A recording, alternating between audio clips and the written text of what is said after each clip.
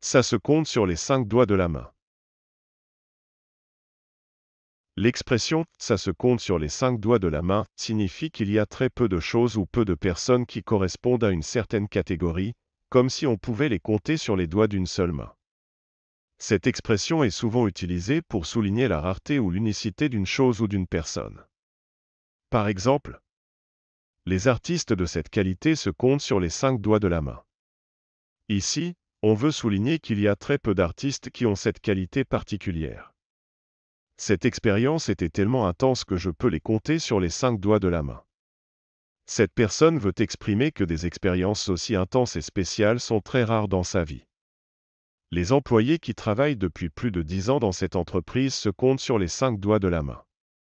Cette phrase signifie qu'il y a très peu d'employés qui ont la chance de travailler dans cette entreprise pendant une si longue période.